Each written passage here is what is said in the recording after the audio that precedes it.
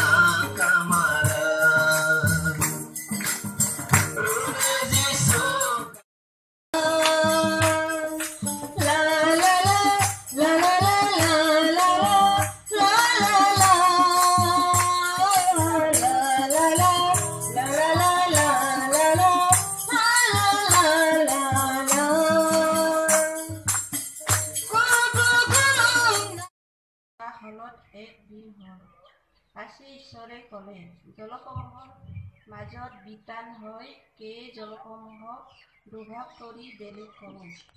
এই বুলি ঈশ্বৰে বিতান নিৰ্মাণ কৰি বিতানৰ তলত থকা জলসমূহৰ পৰা পৰা বিতানৰ ওপৰৰ জলসমূহ বেলেগ কৰিলে। আৰু তেনেকুৱাই হ'ল। পাছে ঈশ্বৰে কেই বিতানৰ নাম আকাশ মণ্ডল হ'লে